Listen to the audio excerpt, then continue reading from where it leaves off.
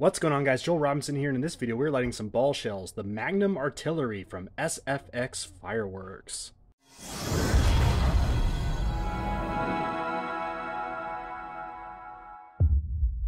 So big shout out to Paul's Pyro. This video would not be possible without him donating some shells from a case that he had purchased. And fun fact, this is recorded on his birthday, so I'm dedicating this video to him. I'll link his channel in the description of this video. Make sure to go give him some love. There are 12 ball shells in this kit, and I'm really excited because a good ball shell goes a long way for me. You'll see some of the descriptions on the side here. We got red, white, and blue peony, blue stars with white strobe, purple stars with green strobe, red strobing willow, silver crackling chrysanthemum, red and green peony, green strobe with red cross set pistil. Ooh. Gold willow, gold brocade to green stars, green strobing willow, colorful peony with crackle, blue stars with red crossette pistil. Comes with a fiberglass mortar here. That's pretty awesome. A lot of times you'll see cardboard and shell kits. So if we look at the ball shells here, the effects are not listed on the shells.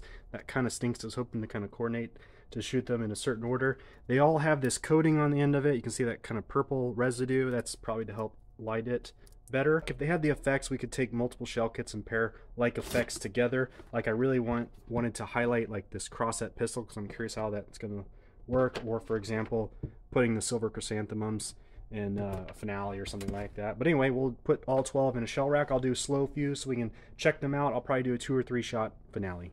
So this is the Magnum artillery tube versus a canister shell tube. Now, obviously this is for ball shells, but just looking at it, since I mentioned it's fiberglass and not cardboard, it is much thinner diameter than a lot of the canister shell tubes you would see. Just wanted to note that.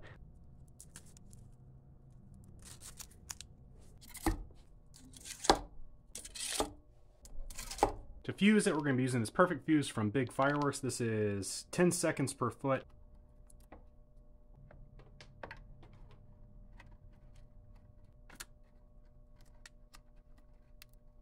Not my best fusing job, but you'll kind of see what I did here. We just snake around, give myself plenty of slack here, so these shots should go really nice pace. And then what I did was I just basically sucked those two pieces of fuse together, so this should go fast for the last two shots. The biggest thing here, because this fuse is being stretched, you want to make sure that that shell is still touching the bottom of the tube, which it is. I'm to cover with tape and we'll be ready to light it.